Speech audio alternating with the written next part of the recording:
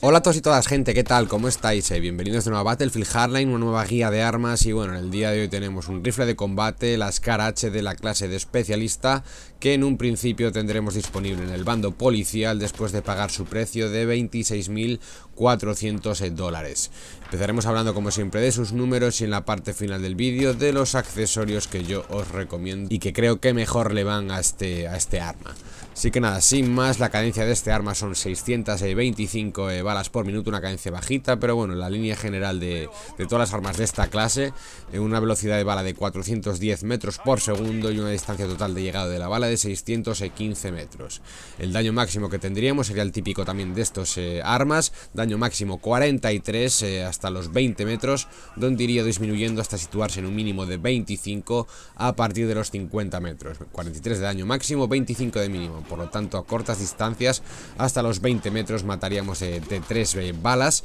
iría disminuyendo hasta situarse en un máximo de 4 balas con estos 25 de daño. El cargador también es típico de esta clase, cargador eh, pequeñito, 20 balas más una en la recámara y la recarga tendríamos una recarga bastante rápida la línea general de este tipo de armas, 1,9 segundos en la recarga corta con balas en el cargador y la recarga larga con 2,4 eh, segundos con el cargador totalmente vacío, lo dicho, en la línea general de este este tipo, de esta clase de armas, eh, recarga rápida para un cargador pequeñito.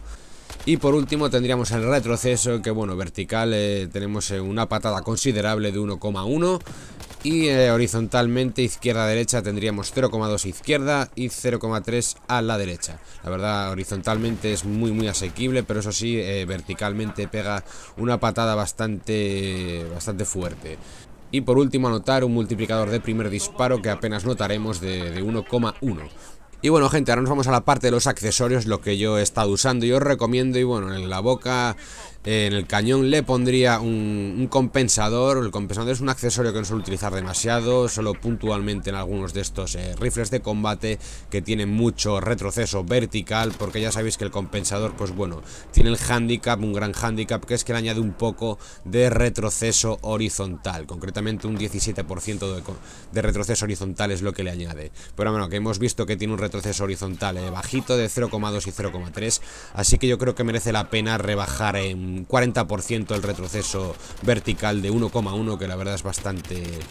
bastante alto. Yo creo que merece la pena en esta ocasión eh, eh, pues bueno sacrificar un poco horizontal que apenas se nota realmente al uso y en el asa pues bueno le colocaría un asa vertical para tener un poco más de movilidad al disparo en movimiento y bueno, como tercer accesorio, aunque no aparezca aquí en pantalla en el rótulo, porque siempre os pongo el cañón y el asa, en esta ocasión la Scarache está disponible en el tercer accesorio, la culata. La culata es un accesorio que no está disponible para, para todas las armas, solo para algunas, en esta concretamente viene. Y bueno, pues yo se la suelo equipar. Lo que hace la culata es lo mismo que hace el asa angulada. Le reduce el retroceso del primer disparo un 33%. En este arma la verdad no es demasiado necesario, por eso no pongo el asa angulada en la parte del asa, porque bueno, tiene un retroceso del primer disparo igual que el resto, pero bueno, como un extra, eh, ponerle la culata tampoco, pues bueno, no le, no le hace mal daño tampoco el primer disparo que esté un poco más quietecito. Así que bueno, resumiendo un poco, yo le pondría compensador, asa vertical, eh, culata y bueno, pues mirilla la que queráis. Y bueno, la Scarache no me parece mal arma, pero bueno, yo personalmente me quedo con su competidora en el bando criminal, la SA58, que está la guía por el canal también, si acaso os dejar un link por algún por alguna parte aquí del vídeo, que bueno, tiene un poco más de cadencias, 25 más de cadencias, 650 y tiene el doble velocidad de bala. Bueno, yo personalmente me quedo con, con ese arma. Y bueno, esta Scarache yo creo que puede ser la tercera opción dentro de estos rifles de combate que hay disponibles en el juego hasta el momento, después de la que hemos hablado de SA58